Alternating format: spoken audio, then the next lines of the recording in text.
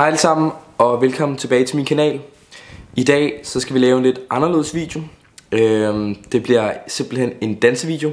Jeg skal ud og danse med mine øh, to øh, gode venner, og de er begge to øh, danse øh, trænere, lad os sige det sådan. De har danset hele deres liv, så de, de kan sgu nogle moves, så det bliver sjovt og det bliver spændende. Så det vi kommer til at forsøge at lave i dag, det er måske at lave en lille slags dans, og så tænker jeg også at lave en uh, TikTok-dans. Og husk, hvis I ikke følger mig på TikTok, så hedder jeg YoungMux123.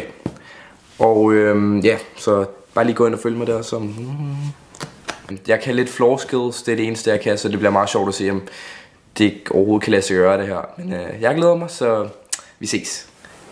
Vi er så kommet i danslokalet nu, og jeg er faktisk overhovedet ikke klar alligevel.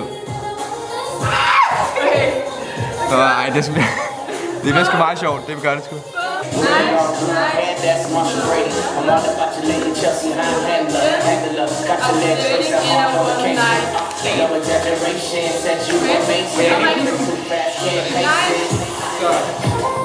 Men du gør sådan her.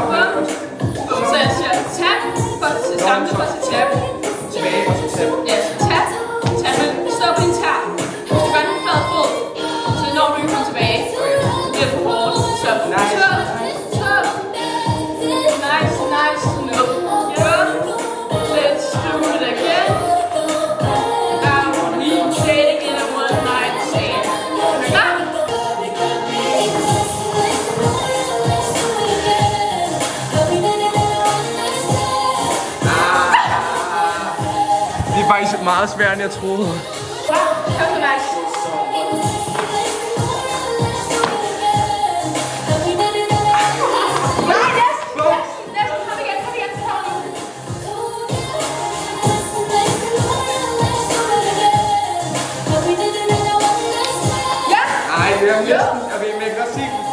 Er svært, hvad laver det?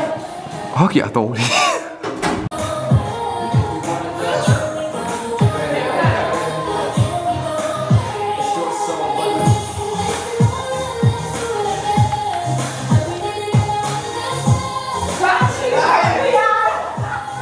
De har brug for at lære nogle skills af mig eller noget. Det er sådan rigtig floor skills, det her, der kommer nu. Øhm. Det er fucking FIFA-sang.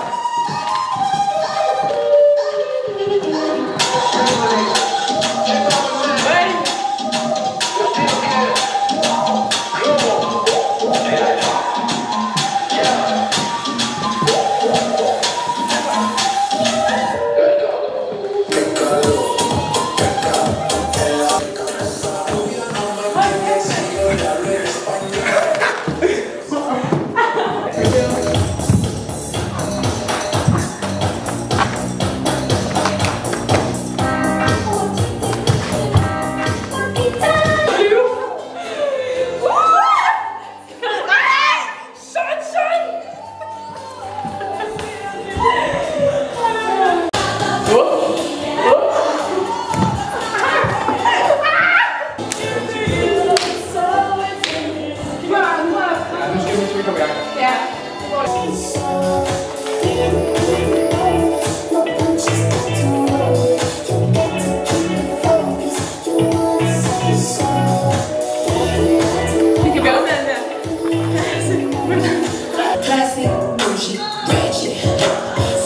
Okay, den skal vi nok lige øve et par gange inden. Giv os lige to sekunder, så er vi tilbage. Ja. Okay, nu skal vi til at lave en TikTok-dans. Ja. Woo! Og det, det foregår på min bog. Okay, nu filmer jeg faktisk mig selv. Nice. Stay tuned. Follow me on TikTok.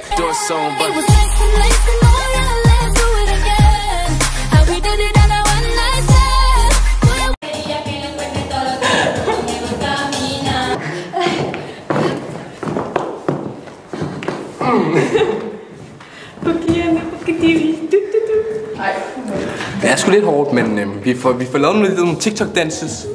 Så check it out.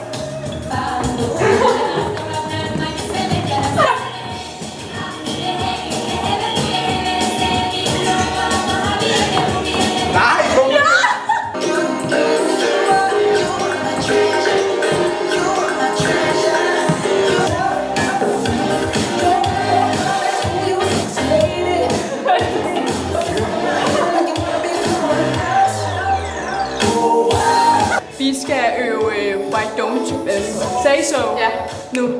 Klar? Vi tager den. Kom, kom. Okay. Midt. Er du med? Nej. Ikke nej.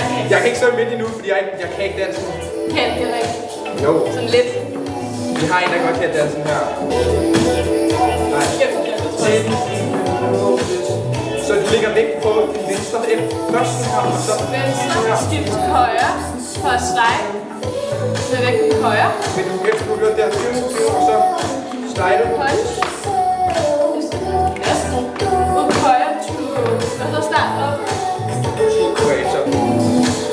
Den et par gange til, men øh...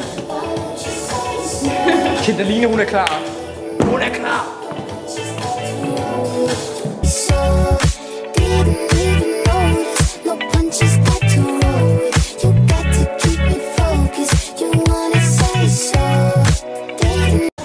Det er rimelig hardcore det her. Det må jeg skulle sige. Det er meget sjovt. Hvad kan man skulle starte til dans. Sådan der. Hvorfor ikke? Så har man endnu flere floor skills.